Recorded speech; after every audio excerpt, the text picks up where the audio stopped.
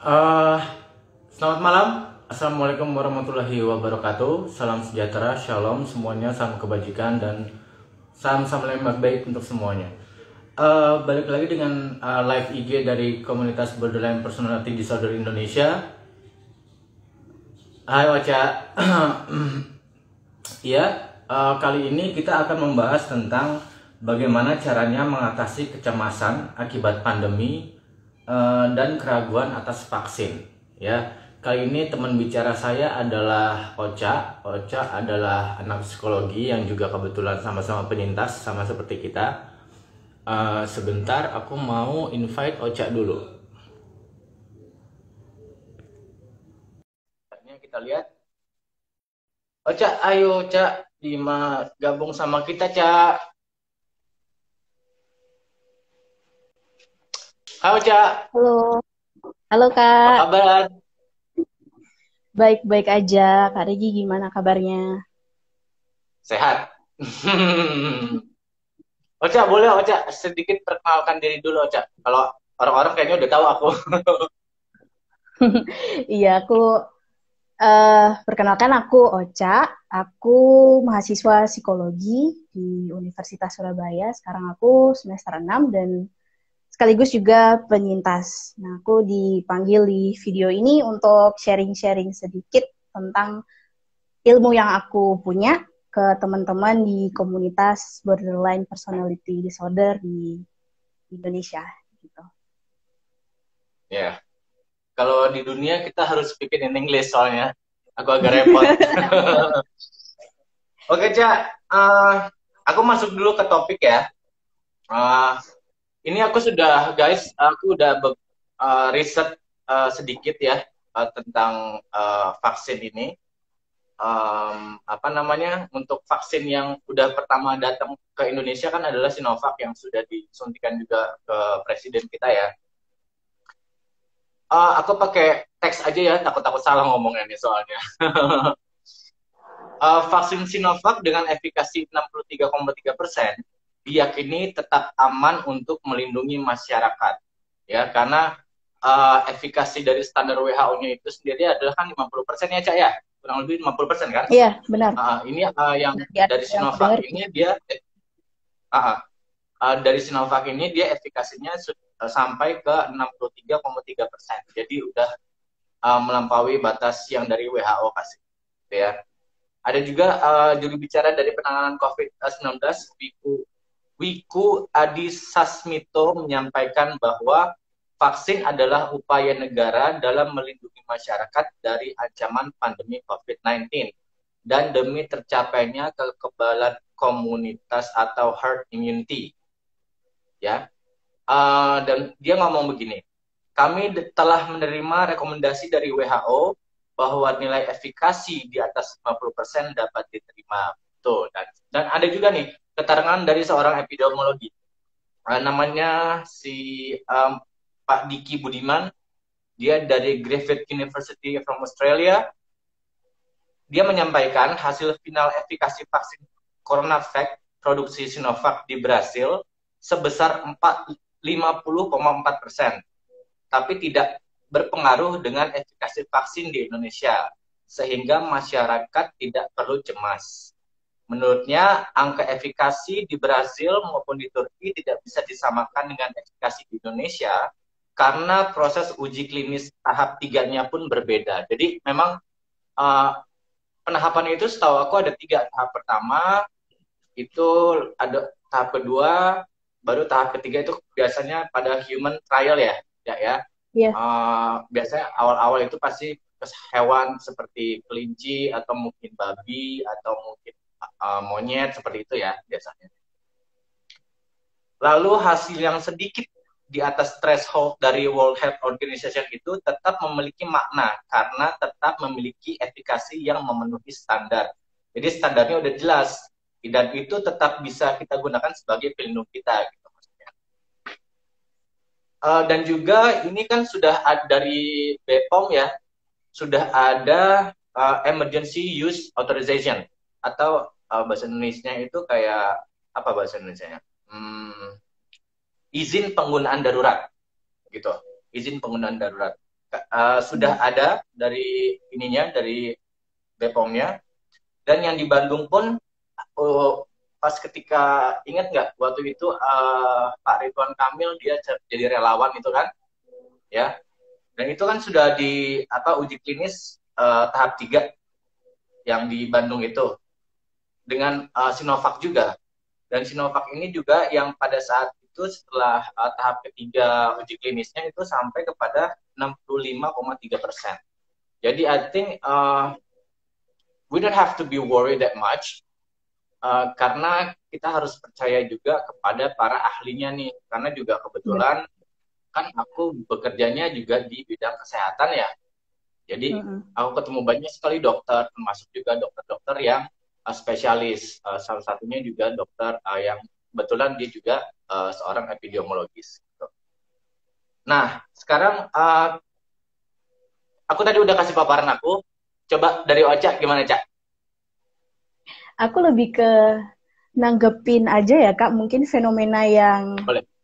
muncul secara psikologis di tengah masyarakat dan terlebih khusus di komunitas uh, kepribadian ambang ya karena banyak muncul kecemasan kan secara psikologis dari uh, rumor-rumor yang beredar ada yang pro ada yang kontra kan ya. nah itu membuat orang merasa cemas. Dan kalau misalnya di apa yang aku pelajari itu namanya uh, muncul kognitif bias gitu, bias kognisi. Nah, ketika yeah. seseorang mengalami bias kognisi, bias itu kan artinya kecenderungan untuk uh, condong ke satu sisi. Kognisi itu adalah suatu pikiran, cara kita berpikir. Nah, ketika bias kognisi ini ada pada seseorang, dia itu akan cenderung ke antara ke pro atau ke kontra. Nah, dengan adanya rumor-rumor nih di media sosial, uh, di komunitas, di grup WhatsApp, di lingkungan sekitar, itu kan kita jadi banyak, bingung banyak. nih. Uh -uh. Yeah. Yang seharusnya harusnya kan vaksin itu suatu apa ya, uh, yang sudah diuji secara ilmu pengetahuan kan, sudah dilakukan secara klinis, itu sudah uh, sudah diukur lah intinya. Tapi kenapa kok masih ada orang yang meragukan gitu? Nah, itu bisa terjadi dari uh, bias kognisi ini. Nah, biasanya tuh dibawa oleh emosi seseorang karena itu tadi rasa cemas atau ada juga dasar eh, dasar-dasar lain sih. Aku kurang tahu ya tiap orang kan pasti punya alasannya masing-masing kan kenapa milih untuk kontra atau pilih untuk pro. Nah, itu uh, dari ilmu psikologi sih kira-kira seperti itu kak bias kognisi tersebut yang bisa muncul. Karena itu ya, karena itu ya, karena bias kognisi itu ya, yang dari karena bias jadi jatuhnya kan ya. Karena mungkin mereka hmm. mungkin um, aku karena dapat dari uh, sumber-sumber uh, yang uh, kurang kredibel probably ya. Gitu. Iya. Tapi uh, sebelum kita lanjut nih, aku pengen tanya sama Ocha. Kalau Ocha sendiri disuntik vaksin mau apa enggak? Ya mau dong. Tas dari ya jauh. Mau, karena hey, ya gimana ya kita udah nunggu satu tahun uh, yeah. dan selama satu tahun itu kan kita udah merasakan ya gimana nggak enaknya kita nggak bisa keluar uh, yeah. rasa cemas yang ada dan ketika kita diberikan solusi seperti ini yang memang solusi terbaik ya kenapa tidak gitu dan memang sudah direkomendasikan oleh lembaga yang uh, berwenang di bagian itu. Kalau ya misalkan ya, masih rasa ada, takut sih. Uh, iya iya iya. Tapi kalau misalkan aku tanya sama Ocha, Ocha gimana nih menanggapi tanggapan-tanggapan yang kurang uh, positif? Misalkan kepada yang ragu gitu, Ocha tanggapinnya seperti apa tuh biasanya? Ke mungkin ragunya kayak apa dulu ini kak? Karena mungkin kan orang-orang punya alasan tersendiri kenapa dia merasa ragu gitu, entah gara-gara berita yang dia dengar atau memang ada motivasi dari dirinya sendiri gitu. Enggak, dari apa pun itu. Misalkan dia dapat infonya hmm. dari uh, sebaran WhatsApp grup, dia baca di sosial media hmm. yang sumbernya kita nggak tahu dari mana. Maksudnya dari apa pun itu, misalkan Ocha ketemu dengan orang yang seperti itu, kira-kira Ocha uh, mengedukasinya tuh seperti apa, Cak? Ya pastinya untuk mengarahkan ke uh, mengarahkan ke apa ya? Maksudnya ke jalan yang benar lah. Maksudnya uh, kalau jalan memang sudah direkomendasikan, ya, ya. sudah direkomendasikan, direkomendasikan oleh tenaga kesehatan, oleh para dokter. Menurutku jangan oh ya kalau aku nanggepinnya pertama ya pasti nggak langsung ngegas gitu kayak ngejudge gitu kalau aku personally pasti harus tahu dulu dong kamu kenapa kok bisa ngerasa ragu kenapa kamu bisa ngerasa cemas akan uh, rumor-rumor yang beredar gitu padahal kan sebenarnya kita tahu ini tuh aman gitu mm -hmm. tapi Ocha tetap melakukan eh, edukasi-edukasi uh, untuk orang-orang sekitar Ocha seperti itu ya Tetap ya? Iya, pastinya dong. Tapi again, nggak dengan pembawaan yang memaksakan opini gitu. Pastinya kan oh, iya, kalau iya. dalam uh, teknik persuasi gitu, nggak mungkin kan kita memaksakan opini kita ke iya, orang iya. lain. Pastinya kita melakukan pendekatan yang memang sesuai dengan kapasitas orang tersebut untuk menerima uh, pendapat dari kita. Iya, dan um, mereka semua kan belum tentu sama cara cara pendapatan atas, atas penyampaian yang Ocha kasih itu beda-beda toh, ya kan? Mm. Mm Nah, uh, oke okay nih, aku sekarang mau kasih tips uh, dari uh, tips dan trik untuk kecemasan dalam pandemi. Uh, ini langsung sumbernya dari Dr. Siti, Siti Amanda SPKJ. Uh, satu dia bilang, tetap buat rutinitas seperti sebelum pandemi. Dua, kembangkan hobi. Hobi apa aja kan? Uh, ternyata kalau kita punya hobi yang contoh menanam, uh, berseni, atau ya apa pun itu, ternyata itu bisa merilis uh, stres kita. Uh, tidur yang cukup ketiga, gitu. karena tidur sangat penting untuk uh, apalagi kita sebagai penyintas. Aku tuh sekali berulang kali uh, mengedukasi tentang masalah tidur memang kalau kita nggak bisa sampai nggak bisa tidur sudah, sudah bisa dipastikan deh besoknya tuh mood kita tuh iya yeah. eh, kan ngerti kan ya kan ya makanya tidur yeah, itu yeah. penting juga lalu di uh, empat pilih informasi dari sumber yang dapat dipercaya gitu. Jadi hmm. jangan gampang-gampang. Banyak sekali karena sekarang adalah berita-berita hoax yang justru kayak nakut-nakutin gitu ya. Jadi kita mau ke mana-mana takut menjadi tambah cemas makin down makin tidak produktif dan tidak normatif kan jadi hidupnya kan. Itu juga nih. Lalu kelima kata dokter Siti Amanda begini bila cemas tetap ada konsul ke ahlinya nah itu Benar. dari tips and tricksnya dari dokter Siti Amanda tentang kecemasan dalam pandemi lalu aku punya tips juga nih untuk mengatasi cemas tentang vaksin kali ini uh, sumbernya dari dokter Lahargo Kembaran Halo dokter, kalau nonton dok. ya, dokter Rahargo bilang gini, satu, cemas, takut, khawatir terhadap vaksinasi itu sebenarnya adalah hal yang wajar ya. Uh, dan alamiah banget. Uh, tipsnya dia bilang adalah ceritakan pada orang yang kita percaya mengenai perasaan kita ini, kita lagi khawatir, cemas, ceritain aja itu supaya apa? Supaya kita bisa lega gitu kan. Kedua, uh, cari dari sumber terpercaya. Tuh, sekali lagi, dokter Siti Amanda dengan dokter Kahar itu mereka punya punya uh, uh, insight yang sama ternyata yaitu salah satunya adalah cari dari sumber yang terpercaya atau kredibel gitu ya rasa takut dan cemas biasanya muncul karena ketidaktahuan. Benar memang. Kadang-kadang kalau kita nggak tahu tuh justru kita jadi cemas. Gitu benar deh. Jadi lebih baik kita tahu tapi tahunya juga harus tahu dari sumber yang kredibel ya.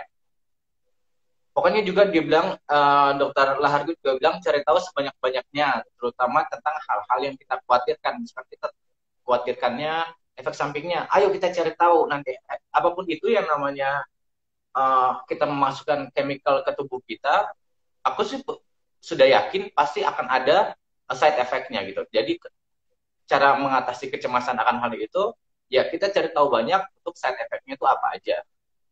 Gitu. Uh, lalu ketiga, kata dokter Lahargo bilang gini, hindari berita-berita yang tidak jelas sumber dan kebenarannya. Diulangi lagi kan itu. yang bersifat menakut-nakuti, berita hoax yang gak jelas akan menambah kecemasan kita. Betul, tadi aku juga udah ngomong di situ. Hmm. keempat uh, dia bilang pertimbangan untung dan resikonya. Bila vaksin, bila divaksin, maka resiko tertular akan lebih kecil yang bisa menimbulkan kesakitan sampai kematian ya. Jangan sampai ya. Uh, kita memang nggak bisa tahu semuanya, tapi vaksin akan meningkatkan imunitas kita untuk melawan virus tersebut dan kecil menularkannya kepada orang lain. Nah, ini terakhir dari Dr. Lahargo dia bilang e, buat keputusan yang bulat kalau vaksin yang kita lakukan adalah untuk membawa kebaikan. Itu dia uh, tips and tricks dari Dr. Siti Amanda dan Dr. Lahargo Barat.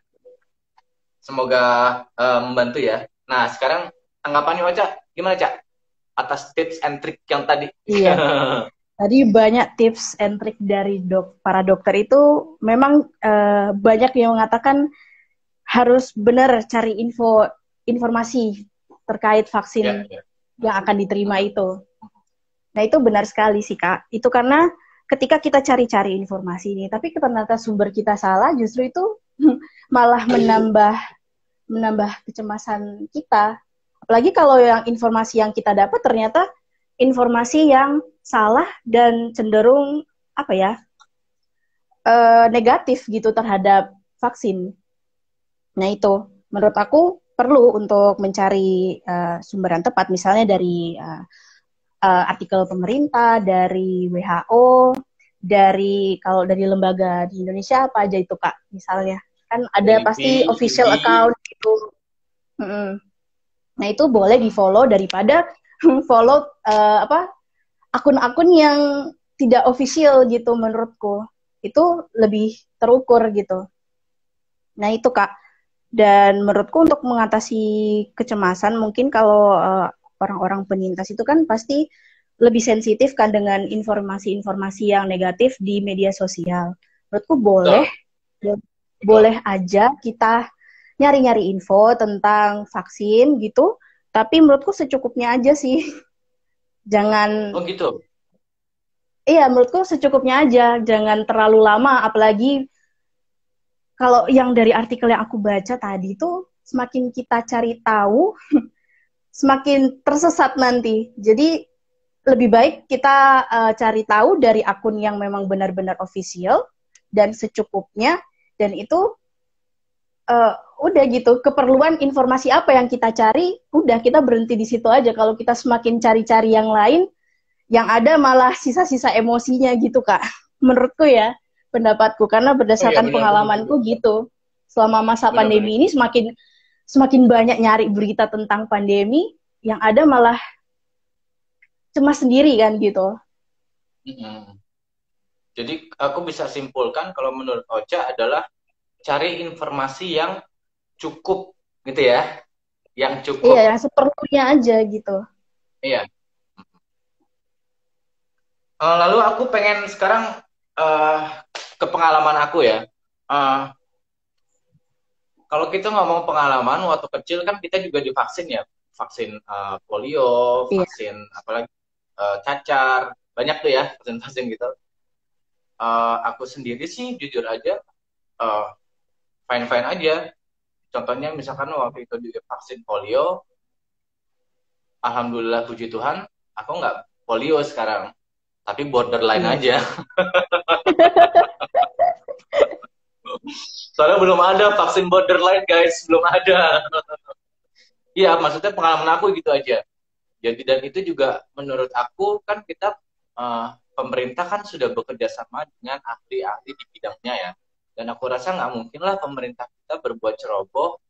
Mereka asal-asalan untuk bikin sebuah kebijakan yang menurut aku kayak untuk malah menjelekkan masyarakat gitu, menjelekkan rakyatnya sendiri ya. Menurut aku sih seperti itu. Jadi aku percaya kepada pemerintah. Kenapa? Karena aku yakin pemerintah pasti pun mau yang terbaik untuk rakyatnya. Gitu kan. Kalau dari uh, Oca, pengalaman Oca gimana, Cak? Pengalaman yang mana nih, Kak? Tentang vaksin. Diulang. Oh, oke. Okay. Aku dulu kalau nggak salah pernah ya waktu waktu itu aku uh, SMA kayaknya aku nggak tahu ya masa kecilku aku nggak inget mamaku dulu ngajak aku ke puskesmas aku aku lupa ya aku nggak tahu itu ternyata yeah, yeah, vaksin paling kita dengar, dengar cerita kan uh, cuman yang aku pengalaman yang memang benar-benar aku tahu itu vaksin itu waktu aku mau uh, ikut seleksi pertukaran pelajar dulu. Nah itu untuk luar negeri diwajibkan oh. untuk vaksin gitu. Dan uh, ketika aku aku lupa vaksin apa itu ya rubella mungkin atau apa aku lupa ya kak. Cuman malaria. sampai sekarang ya nggak ada side effectnya memang nggak ada side effect yang serius gitulah. Memang kalau menurutku ya uh, ngambil vaksin itu kan nggak kerasa kan manfaatnya karena itu memang cuman tindakan pencegahan kan cuman kalau di masa pandemi seperti ini kan uh, mendesak apa pun yang ada yang bisa menjadi solusi menurutku yang sudah terukur ya itu kenapa tidak diikuti gitu. Iya iya iya. Uh, kalau misalkan nih cak uh, ada beberapa dari para penyintas yang uh, kan aku baru dengar belum mungkin uh, ketok palunya belum ya setahu aku ya. Kalau misalkan yang tidak mau divaksin akan didenda sekian juta atau kurungan penjara belum belum segala macam. Kan wacana itu kan baru wacana ya. Uh, belum ketok palu juga. Uh, pendapat Ocha akan hal itu bagaimana ya? Hmm. Mungkin untuk sebagian orang mereka merasa hak mereka direnggut gitu. Hak mereka untuk memilih uh, ikut ambil vaksinnya atau enggak merasa terenggut kan. Uh, menurutku hmm. sih ya perintah eh pemerintah pemerintah itu mau nggak mau ya harus membuat suatu kebijakan. Toh kita lihat aja selama satu tahun terakhir kan, satu tahun terakhir gimana sikap kepatuhan masyarakat Indonesia terhadap penanganan COVID-19 ini kan. Ya mungkin itu hmm. pertimbangannya karena ya aku kurang tahu sih kak. Mungkin kalau aku personally kan aku mau ngambil. Jadi kayak aku nggak memikirkan uh, apa ya embel-embelnya lah. Aku nggak mau lah bayar bayar uang untuk nggak ngikut vaksin. Sedangkan vaksin itu aman ya. Kenapa membayar untuk sesuatu yang uh, kontradiksi gitulah. Ya kalau aku bilang ya percaya aja sih sama pemerintah. Apalagi kalau ini kan bukan cuman kerjasama dari pemerintah juga kerjasama dari lembaga-lembaga kesehatan yang uh, ofisial gitu. Dan seluruh Jadi, dunia ya? Iya benar. Kalau ada kabar-kabar samping gitu, itu mungkin cuman apa ya sekian persen aja dari orang-orang yang hmm, selalu negatif lah persepsinya terhadap pemerintah gitu atau lembaga-lembaga? Iya, uh, ada salah satu kasus yang menurut aku agak sedikit uh, menjadi perhatian aku ya, karena yang ngomong ini ini adalah seorang dokter. Uh, dia di komisi hmm. uh, komisi berapa ya? Lupa aku tiba-tiba. Iya, aku uh, sempat dari Ciptaning itu loh dari PDIP. Hmm, iya. Ah, yang dia bilang dia dia menolak divaksin at at the same time dia also memberikan some of, of, her, of her reasons yang which is she's also a doctor juga. Dia dokter loh. Hmm. dia dokter. Iya iya tahu. Uh -huh. dia dokter dan dia bilang dia tidak mau vaksin bla bla segala macam. Padahal uh, sebenarnya dia kan dari uh, partai uh, koalisi pemerintah ya yang harusnya sih sebenarnya sejalan dengan pemerintah. Tapi aku di situ melihatnya dia sebagai seorang dokter nih gimana pun kan dia dokter tapi harus kita ini kan juga kita apa namanya kita jadi pertimbangan kita juga kalau misalkan pendapat dokter oke okay, tapi posisinya di mana? Misalkan uh, biasanya itu pendapat dari semua uh, apa namanya ke per ke ininya ke apa namanya tuh aduh how do you say the word? Like like, like efisiensinya ya. Itu pendapat dokter itu ada di paling bawah. Mereka berhak untuk punya pendapat itu ya tentang uh, berbagai kesehatan karena mereka uh, seorang dokter. Itu paling bawah. Di atasnya ada lagi uh, dari uh, misalkan sebuah kayak uh, ada fatwa lah mungkin kalau MUI bilangnya fatwa, kalau ID bilangnya apa ya? ya maksudnya ada itu dari ID dari sekelompok karena sudah hasil dari peer review kan. Terus uh, di atas lagi yang paling atas itu udah adalah hasil dari uh, research yang sudah based on science gitu. Jadi uh, memang dia sebagai seorang dokter berhak ya uh, mereka dia sebagai seorang dokter berhak memberikan pandangannya karena memang dia dokter. Tapi kita lihat tingkatnya. Tingkat pendapat dokter itu ada ya di paling bawah. Bukan berarti tidak diperhatikan bukan. Diperhatikan tapi tingkatan di bawah di paling bawah. Yang harus kita perhatikan adalah yang di paling atasnya yang which is adalah based on research and and science yang udah uh, proven gitu ya, yang udah terbukti. Nah, uh, kalau pendapat Ocha ada dokter yang ngomong kayak gitu, gimana tuh, Cak? Iya, ngerti sih. Kan kalau orang udah ngomong dokter berarti kredibel kan. Apalagi juga hmm. di pemerintah. Menurutku harus hati-hati sih dalam berucap. Belum tentu apa yang kita yakini itu benar. Uh, dampaknya itu gimana ke masyarakat kan. Karena kan masyarakat ini udah kebagi kan ke kubu-kubu. Kayak aku bilang tadi bias kognisi. Ketika udah ada orang yang pro, uh, ada orang yang kontra, maaf yang kontra, denger kayak gitu malah semakin kontra. Karena kan uh, yeah. intinya dokter itu nggak nggak mau kan menerima vaksin dan nggak apa ya ya tidak setuju lah intinya kontra dengan vaksin yang diberikan oleh pemerintah Indonesia ke masyarakatnya. Ya itu harus hati-hati sih menurutku dalam berucap gitu walaupun maksudnya mungkin mungkin baik uh, tapi untuk sebagian orang itu diartikannya lain. Bah bahkan kalau kita lihat sekarang kan komentar-komentar di media sosial itu kayak sudah banyak yang ngomong kayak aku nggak mau divaksin gitu. Terus top komen lagi. Nah itu kan bisa mengacaukan mengacaukan apa ya pendapat tiap orang yang baca komen itu menurutku. Jadi hmm. dia sebagai pemerintah yang harusnya mengedukasi, ikut serta dengan tenaga kesehatan mengedukasi untuk ikut vaksin, ketika dia menyampaikan opininya yang menurutku dia nggak ngukur sih dampaknya terhadap masyarakat sekarang ini seperti apa gitu.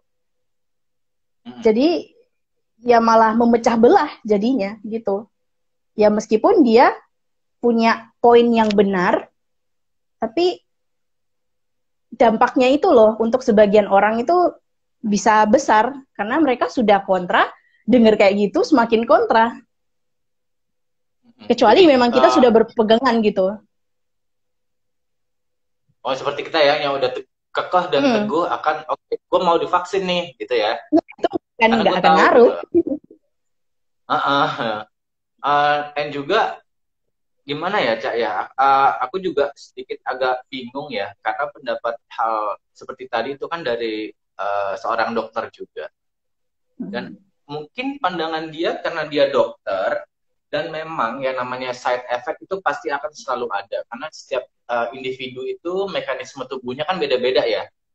Jadi belum tentu misalkan aman untuk aku, uh, untuk Ocha aman, gitu kan? Karena kan berbeda. Tapi sekali lagi uh, standar dari WHO itu yang harus menjadi patokan kita di atas 50%.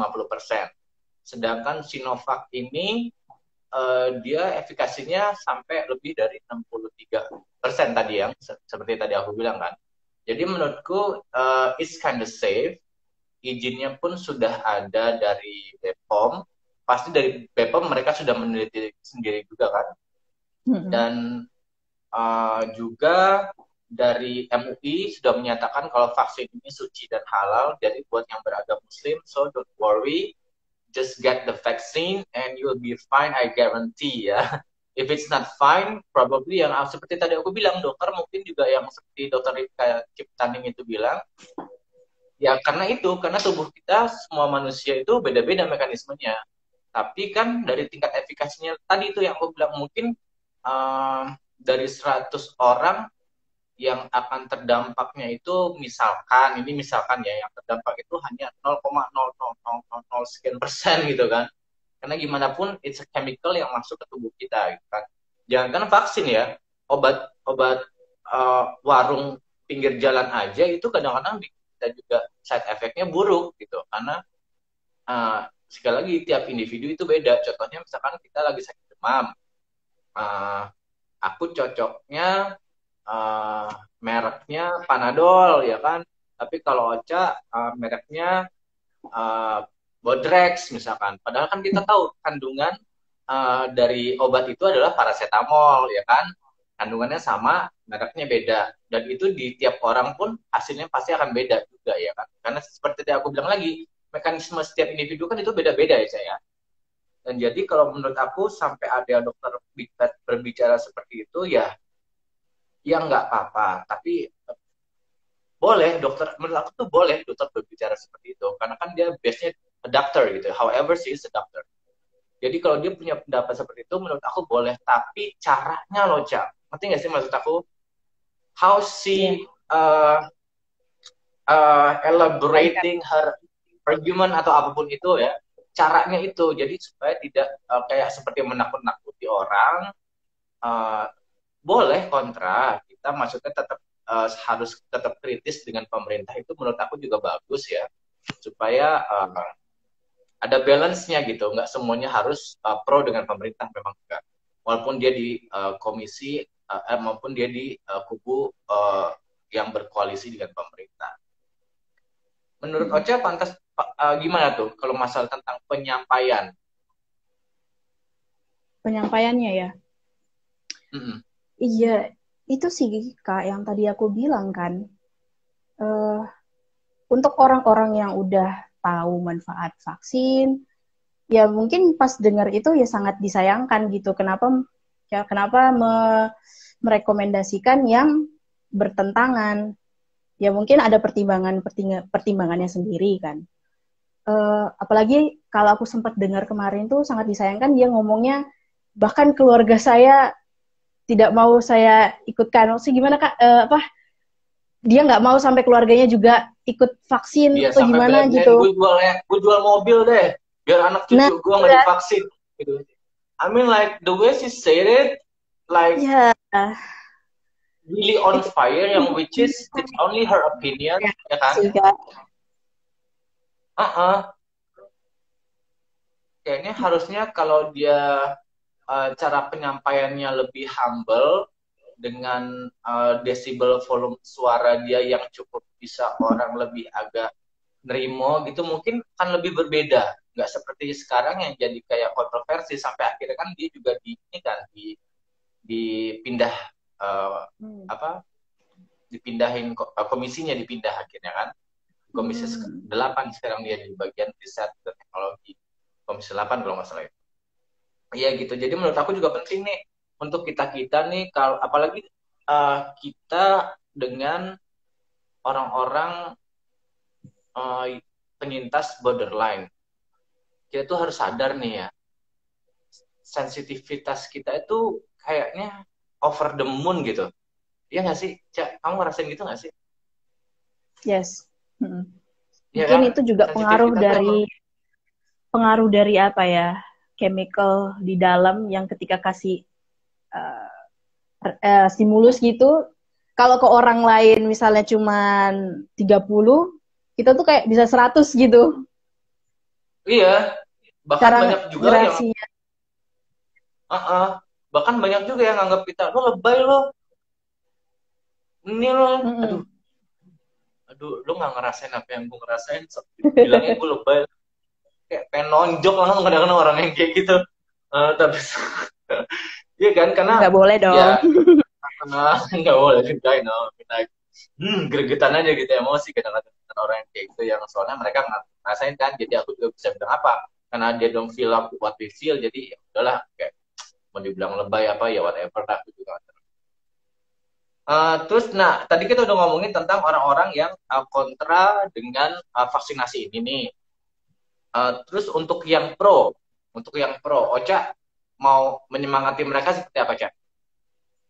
Yang udah pro vaksin. Mm -mm.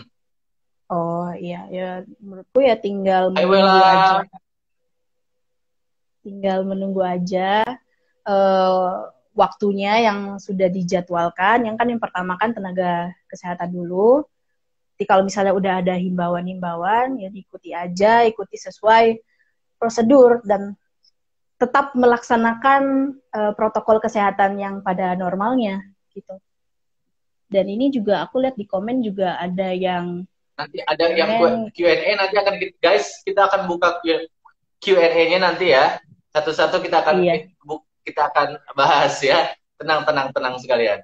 Kita mau kasih paparan dulu di sini iya ya lanjut ya dan ya memang kita bisa lihat kan dari mulai dari bapak presiden dari tenaga kesehatan dari orang-orang awam bahkan dibuat seremoni gitu. Itu kita bisa lihat. Kita bisa juga uh, lihat perkembangannya gitu secara transparan. Apakah uh, gejala-gejalanya seperti apa setelah menerima vaksin itu. Dan sejauh ini kan ya aman. Bahkan sebelum vaksin itu disebarkan di suatu negara kan juga sudah dilakukan clinical trial ya iya. itu menurut aku ya udah tinggal kan? nunggu aja waktu kita gitu bersabar di rumah sambil ya melakukan tadi kayak kakak bilang melakukan hobi, melakukan aktivitas, produktivitas yang bisa meningkatkan uh, kesehatan mental kita, meningkatkan kesehatan fisik kita daripada kita terlalu terbebankan memikirkan suatu hal tentang vaksin ini padahal jelas-jelas ya udah tinggal nunggu aja gitu.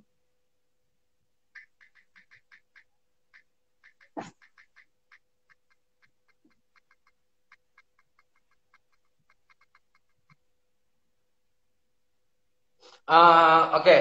uh, kalau sekarang kalau aku akan memberikan uh, support untuk yang uh, kontra dulu nih. Uh, buat yang masih kontra terhadap vaksinasi ini, baik apa pun itu ya, mau dari Sinovac, uh, Pfizer, Moderna atau apa pun itu, yakinlah kalau apa yang sedang dilakukan negara kita ini adalah untuk kebaikan kita semua. Eh, gali-gali uh, lagi informasi dari sumber-sumber yang kredibel supaya uh, kalian semua yang masih pada kontra uh, literasinya jadi lebih bagus, uh, awarenessnya jadi lebih besar lagi tentang vaksin. Uh, kalau masih kurang yakin juga langsung ketemu aja uh, ahli-ahlinya yang memang di bidangnya kayak seorang dokter yang juga mungkin ada epidemiologisnya gitu ya Nah, kalau aku untuk yang uh, apa namanya pro terhadap uh, vaksinasi ini, ayo bareng gue, gue juga mau divaksin. so don't worry, uh, kita yakin, aku bilang sekali lagi, yakinlah kepada apa yang negara kita uh, buat tentunya. Mereka semua bekerja di bawah sumpah untuk mem memberikan yang terbaik terhadap negara mau mereka nanti melanggar sumpahnya itu sudah urusan mereka dengan Tuhan yang masing-masing kita nggak usah hmm. uh, nggak usah ambil pusing di situ tapi yang harus kita percaya adalah tetap uh, kita bisa pastikan negara tidak mungkin pengen uh, rakyatnya ya hancur hancur kesehatannya hancur ekonominya. Ini kan impactnya bisa ke mana-mana tentunya kan? Jadi juga uh, ayo yang pro sama saya. Dan juga aku juga lagi ini nih cak lagi berusaha hmm. untuk gimana caranya kita uh, para penyintas disabilitas mental uh, setidaknya para foundernya dulu nih yang divaksin itu yang lagi aku, aku coba untuk untuk uh, advokasikan ke Kementerian Kesehatan. Uh, di Kementerian Kesehatan yang aku lagi usahakan. Jadi supaya kita ini uh, para founder-founder dari komunitas ini kan banyak komunitasnya banyak ya. Apalagi juga komunitas yang sudah memiliki beberapa ribuan member misalnya gitu kan. Kalau mereka melihat nih eh founder gue aja nih udah divaksin nih. Gue gue yang gue teragukan apalagi dia aja berani gitu. Maksudnya untuk memberikan motivasi dan jadi uh, role modelnya gitu gitu Benar. sih menurut aku yang siap siap siap sekarang oke okay, cak kita bikin buka Q&A ya coba aku lihat nih aku lihat dulu nih what is it hmm pelan-pelan ya guys. uh, wow, ada tujuh global Indonesia. Halo tujuh global Indonesia. Terus lakukan apa yang kalian terus biasa selama ini lakukan. Menebar kebajikan di seluruh bumi Indonesia. Uh, benar, vaksinnya safe kok, Kak.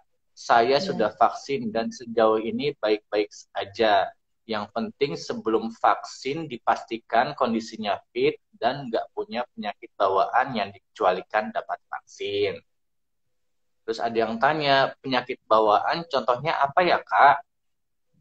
And then did he answer? Contoh penyakit bawaan yang dikecualikan. Yang Mas Re, uh, putus-putus gambarnya kayak slow motion apa cuma di aku aja ya? Katanya ada yang putus-putus eh, gambar aku. Ocha, ternyata putus-putus nggak, Cak?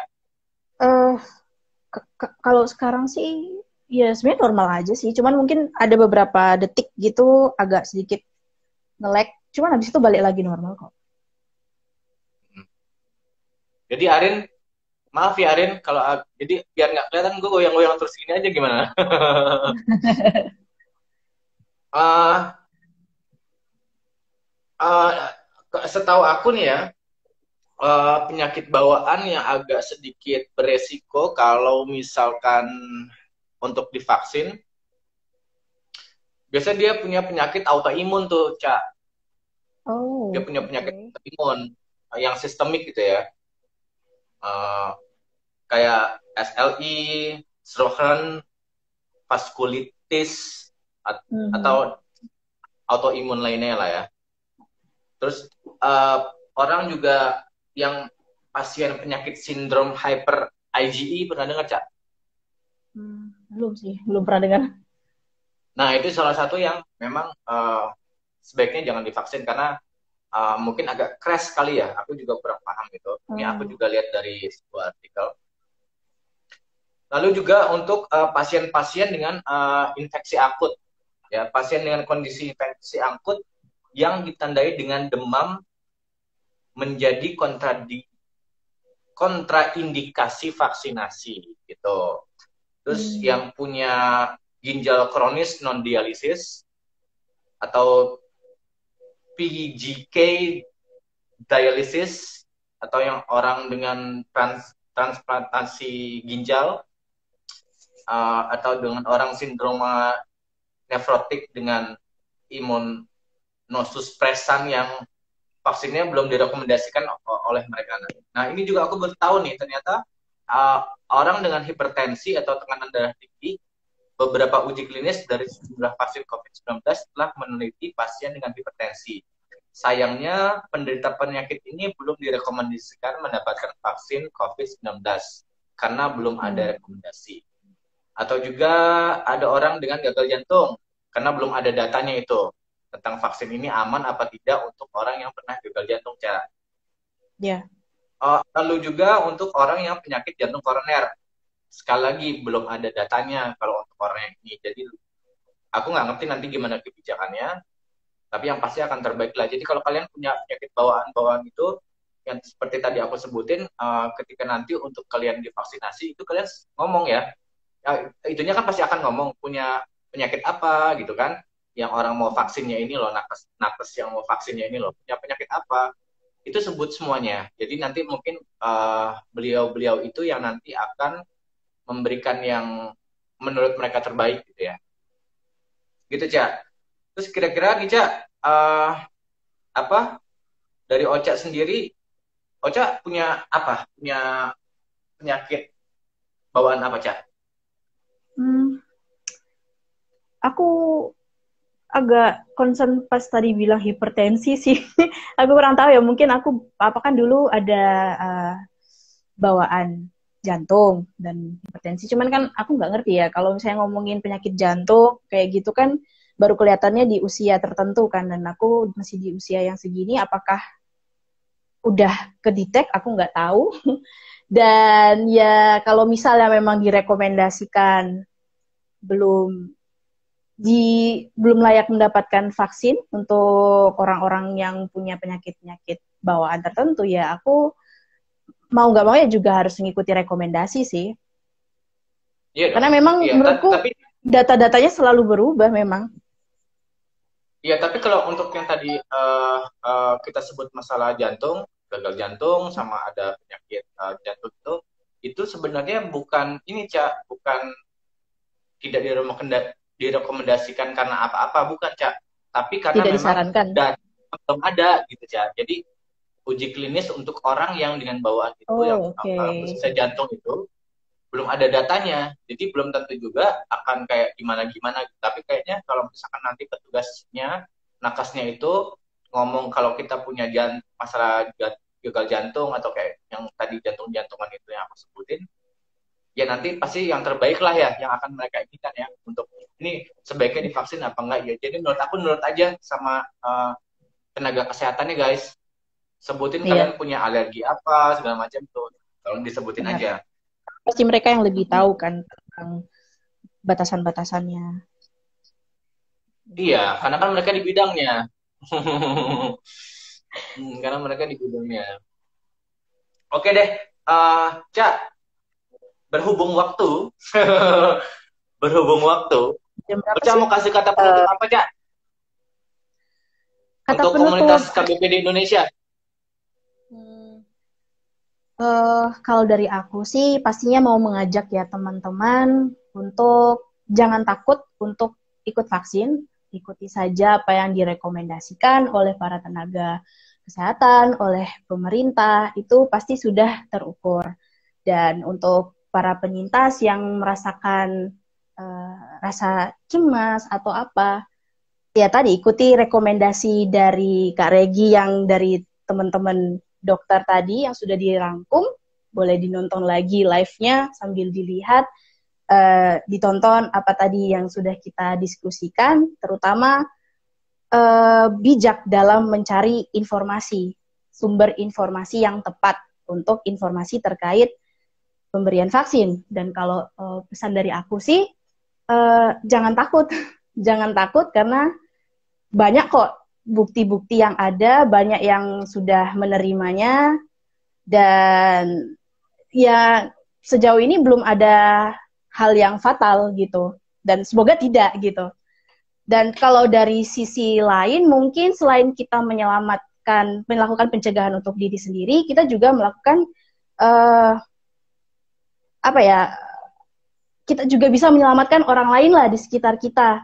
Karena dengan ah, kita ya. Dengan kita ikut vaksin, kita juga secara tidak langsung uh, menghambat masuknya penyakit kan ke kita dan membuat orang di sekitar kita tidak tertular dengan penyakit yang mungkin siapa tahu kalau dengan kita tidak ikut vaksin terus kita kena uh, COVID malah justru lebih beresiko ke orang-orang di sekitar kita gitu. Jadi uh, kalau ada memang solusi yang lebih baik sebaiknya diikuti saja dan tetap melakukan protokol kesehatan yang sudah direkomendasikan.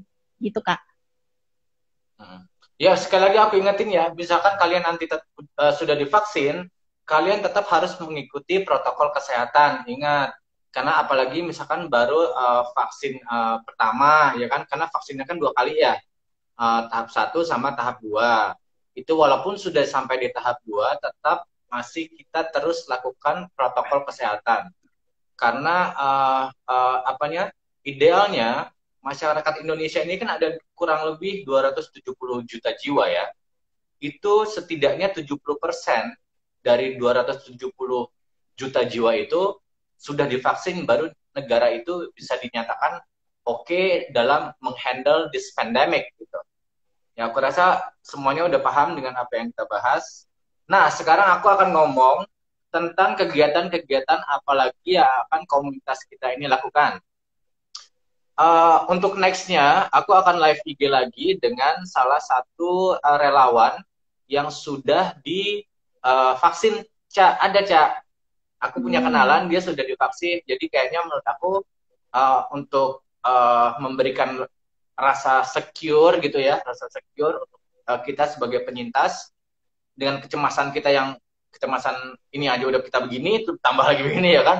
Supaya nggak terlalu cemas. Jadi aku na nanti akan langsung aku hadirkan yang sudah uh, orang yang sudah disuntik vaksin tahap satu ya.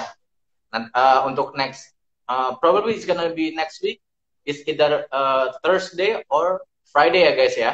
Biasanya aku live IG-nya itu antara Kamis atau Jumat. Okay. Uh, lalu juga nanti kita kan ada seminar untuk uh, Zoominar kita biasa uh, yang nanti temanya adalah tata laksana penanganan tidur terhadap penyintas. Itu sekali lagi aku pengen uh, nanti dengan ininya apa namanya narasumbernya dari Dokter Kusman. uh, kode rekrutan uh, SPKJ uh, beliau uh, memang untuk bagian uh, tata laksana tidur atau terapi tidur ini beliau menurut aku salah satu yang uh, cukup top ya di Indonesia.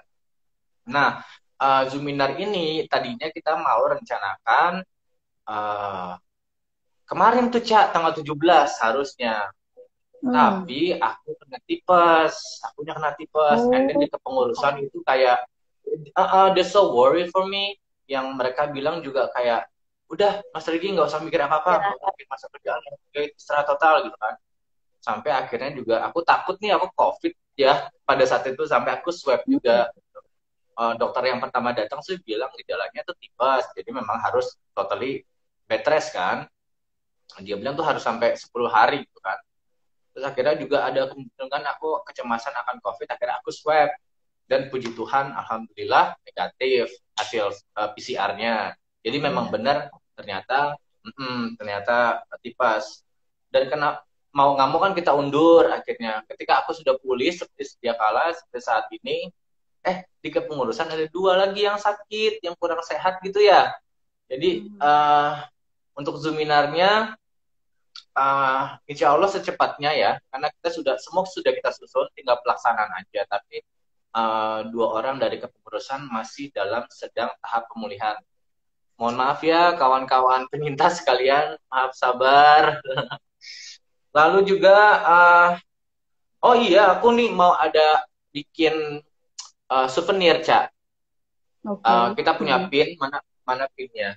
Wait, let me search it. Wah, sebentar, sebentar. kita tuh bikin pin-pin seperti ini. Can you read it? I think it's a backward ya.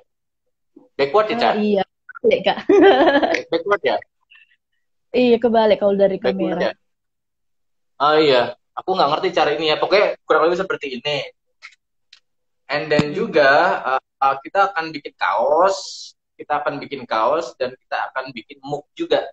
Uh, okay. kaosnya contohnya tuh kayak gini. Ini ya kaosnya. Biasa kita memang desain kita itu uh, hitam putih atau grey.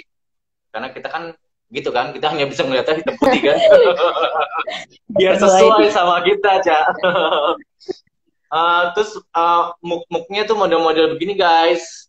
Can you see it uh, uh, nah okay. probably like this gitu. Yeah. Uh, uh, nanti di muk itu ada quote-quote-nya gitu guys.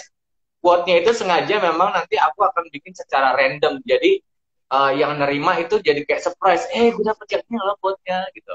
Eh gue dapet yang ini loh quote-nya. Itu ada di kaos dan di uh, booknya kalau untuk pinnya setiap yang beli kaos udah otomatis dapat pin. Setiap yang beli mug udah otomatis dapat pin juga. So kita akan buka uh, eh, PO ya sebutnya apa sih ya pre-order ya?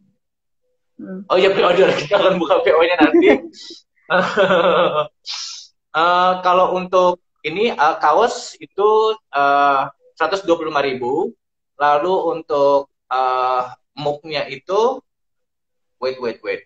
It's pokoknya di bawah uh, uh, kurang lebih 35.000 untuk muknya.